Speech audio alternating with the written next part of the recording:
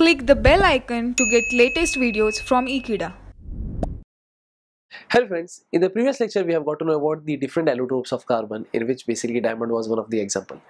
So now in this topic we are going to talk about that uh, what is the allotrope of uh, the carbon that is especially about the diamond and basically what are the different uh, properties that we could and what are the different uses of the diamond and let us talk about that.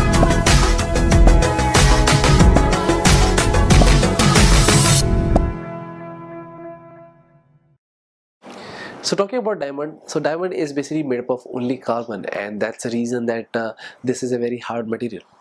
So basically diamond is basically a 3D structure or that is three dimensional structure of the carbon in which basically the carbon, each carbon it forms a tetrahedron structure. So because of this each carbon atom are being linked with other carbon atoms also and basically they are forming a tetrahedron structure. Basically we could say that the carbon in this uh, uh, case that is in this example that is as diamond they form sp3 hybridization. We know that carbon has an electronic configuration that could be written as that is 1s2 2s2 2p2 so while forming a bond with the other carbon atom what happens is the orbital as you could see over here that is it consists of two electrons in the s orbital and two electrons in each of the p orbital of uh, the carbon.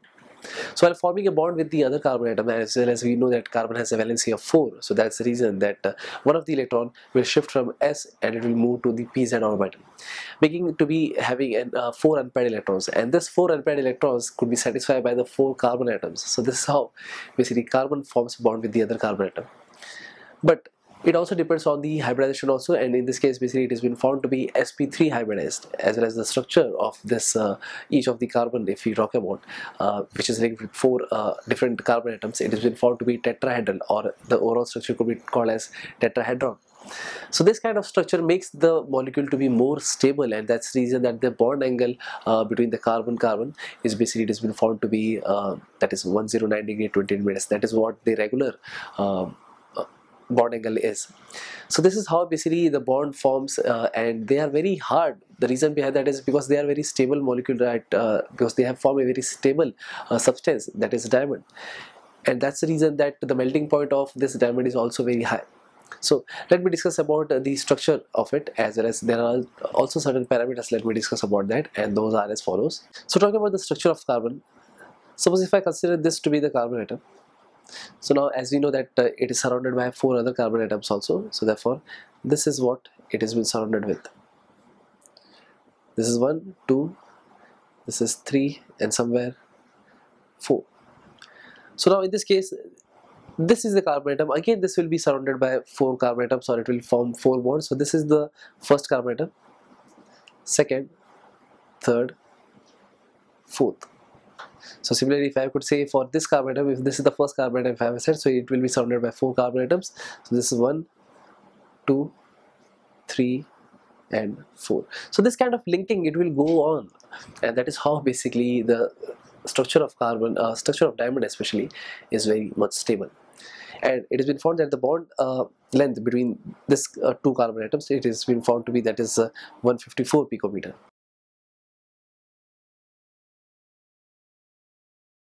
So these were the bond parameters that I was talking about. And uh, so in this case basically since uh, uh, every electron is been uh, of the carbon atom if I talk about during hybridization is form uh, is forming a bond with uh, the other carbon atoms so it has been involving in bond formation with carbon. So that's the reason that carbon doesn't have any kind of free electron. So if it doesn't have a free electron obviously it will not conduct electricity. So therefore diamond is going to be a non-conductor as well as since I've said earlier also that it requires more amount of heat to melt it. So therefore we cannot melt it. As well as this is a very uh, this is one of the most hardest material uh, in the planet that we know.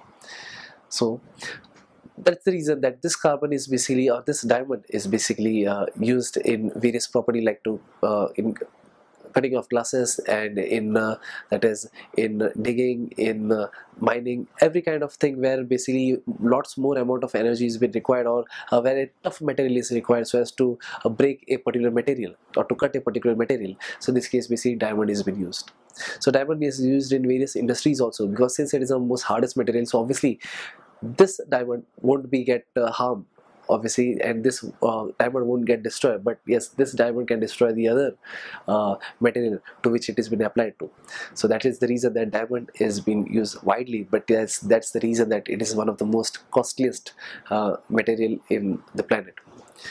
So that was the uh, certain uh, thing about diamond that i was talking about. So this is an important uh, chemistry to learn about that why diamond is so expensive yet we could also understand what are the property that could be exhibited by the diamond. So this makes to understand that uh, what the diamond is and that's it. Thank you friends for watching this video. I hope you have understood this video very clearly and you have got to know the different properties of the diamond. Thank you so much. I hope you will share this video with your friends and don't forget to subscribe e channel